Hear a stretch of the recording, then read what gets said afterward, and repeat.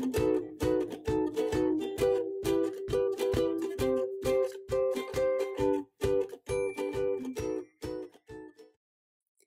friends, it's Chari and today I'm making a really cute mini slimline card. So I've said before that the mini slimline size is really fun to break out your old sets.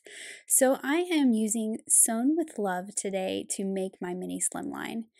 I am going to use these small mini slimline stackables. I'm using the largest of those and that's what I'm going to use to cut out my pattern paper to fit on my card base. This card base is kraft cardstock. It is cut to 3 inches by 6 inches, so you can easily cut a 6 by 6 square and score it down the center. I'm going to use watercolor wishes paper as well as some perfectly plaid remix. I really like that really bright plaid and that's going to be sort of my tablecloth kind of for my place where my little sewing machine and items are going to sit. So I have cut that rectangle with that aqua color watercolor wishes. I've also cut a piece of the plaid, which I will trim down here in just a little bit.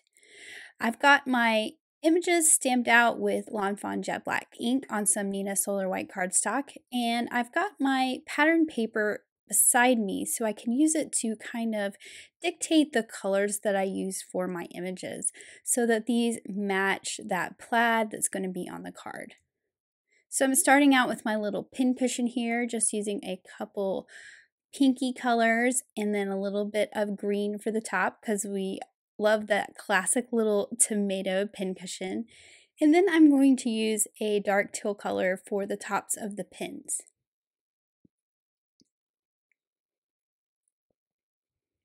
Moving on to my little thimble, I'm not going to go crazy with those colors. I'm just going to use some neutral grays for that with just a little bit of shading. And I'm going to apologize now. My head got in the way a lot. I tried to zoom in so you didn't have to see my hair, but it only works so well. I'm also going to use those same grays for my scissors with a little bit of shading. I started with that lightest, then going in with the dark, and then blending it out. And then I'm going to make the handle of those scissors those classic orange scissors that all of our Fiskars scissors are. So that orange is in that plaid paper, so that works out perfectly. I've put down a layer of orange, but decided I wanted a little bit of shadow, so I'm trying to find a bit darker one here. And then I'll just add a little bit of shading around the edges and blend that out.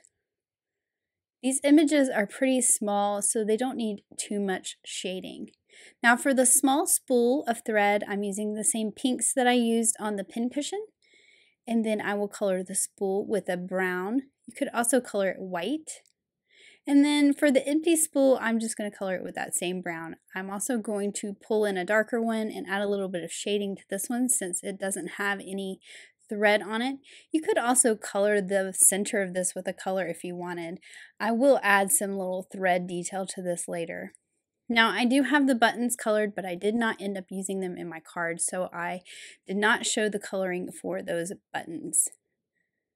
My sewing machine, I'm going to go with some yellows, so make a bright yellow sewing machine.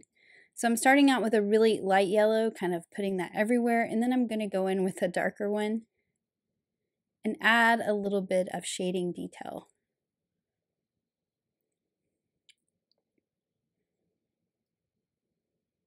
So I'm just going at the bottom underneath those knobs and then I'm blending it back out with that Y32 which is the lighter of the two colors.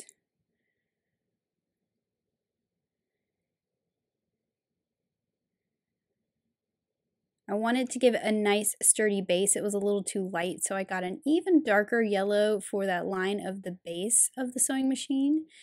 And then I'm pulling in some blues because there are some really pretty blues in that plaid for some of the details on my sewing machine. So I've got that stripe, that little button, the part where the needle is, and then I'm going to add gray to some of these other parts.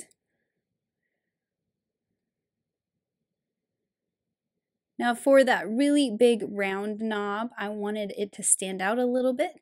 So I'm going to pull out that pink color that I used for the pin cushion and color that in with that pink color. And I'm also going to add a little bit of detail to this. So there is a little solid heart stamp in this set and it is really cute and fits perfectly in that round knob. There is an outline heart as well, so you could use whichever one you like. And then now that all my images are colored, I'll use the coordinating dies to cut them out. Now the other thing I really like about this set are the sentiments so and cute because they're nice and big and they also have coordinating dies. So you can make all kinds of sentiments by combining these with the smaller letters, but I just wanted it to say, you're so cute. So I'm going to use both of those. I've stamped them in some black ink and I'm using those coordinating dies to cut them out. I also, if you saw there, stamped a one little single pin. I'll add that to the card as well.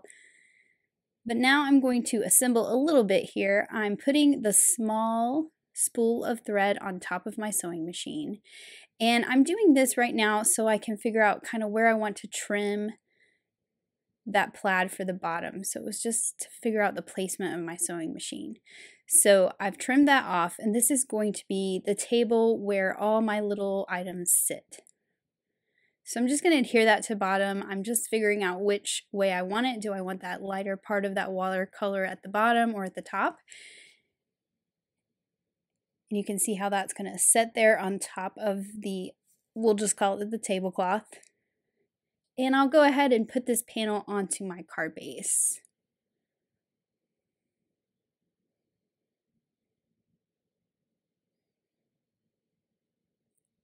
So now I can start to assemble my little scene here with my sewing machine and I'm going to lay them all out, sort of figure out the placement that I want for everything before I start gluing things down.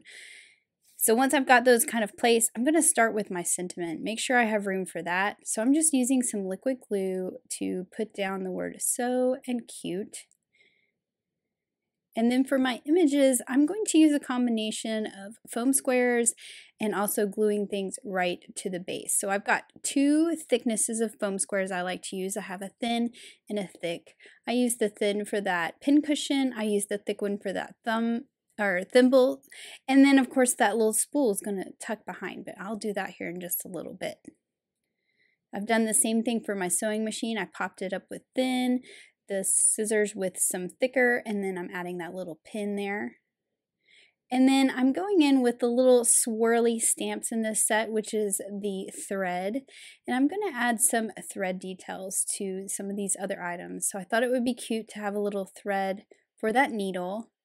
And then this is where I went in just with a black pin and drew some thread on this spool. So it's kind of a spool that doesn't have a lot of thread on it, but it just gave it a little more detail and it did not look quite so plain.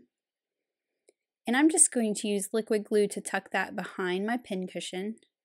And then some of these other swirls in the set, I went ahead, just like with the sentiment, and stamp them in some black ink and cut them out with the coordinating dies. And that will allow me to just tuck that behind that spool and it can easily overlap from one pattern paper to the other. I'm adding that little your sentiment so it completes my sentiment and it just felt a little empty up here at the top so I'm adding another one of those little threads coming off the spool on the sewing machine. Now I said there was a little open heart in this set, so I'm using that to just kind of sprinkle some stamped embellishments around using some peacock ink. This looks really good with that watercolor wishes paper. And then finally, for a little bit of sparkle, I have some glitter. I'm adding that to the pins in the pin cushion, some of the details on the sewing machine and the thimble. I'll also add it to those little hearts and then I also used it to trace over the threads.